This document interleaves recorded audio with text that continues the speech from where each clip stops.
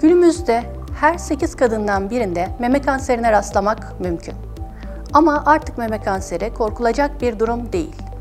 Erken teşhis ve tedavi ile başarı şansımız %96'lara kadar ulaşmakta. Eskiden olduğu gibi kemoterapi ilaçları ve hormon ilaçları dışında seçeneklerimiz değil, artık çok daha fazla seçeneklerimiz var. Yeni hedefe yönelik akıllı moleküllerimiz, yeni ve daha etkin kemoterapi ilaçlarımız, yeni radyoterapi teknikleriyle başarı şansı oldukça yüksek. Üstelik bu tedavileri alırken sosyal hayattan kopmadan, sevdiklerimizden kopmadan tedavi sürecini başarıyla birlikte götürebiliriz.